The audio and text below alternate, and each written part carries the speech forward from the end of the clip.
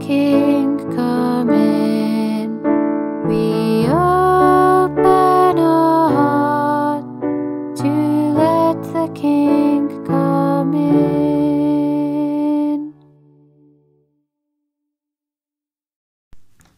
A reading from the Gospel according to Luke.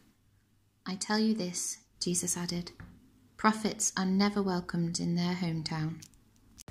Dear God, I pray that each time I hear your words, they have an effect on me as though it were, were the first time I was hearing them. Amen.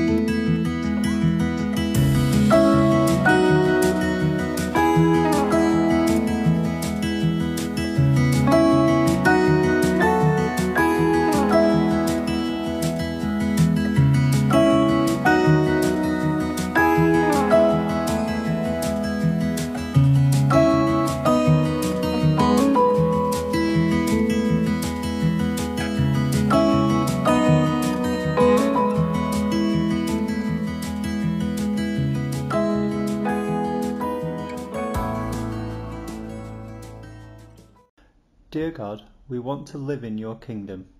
During this Lent, we pray that our hearts meet with yours and that you will become the centre of all we are. Amen.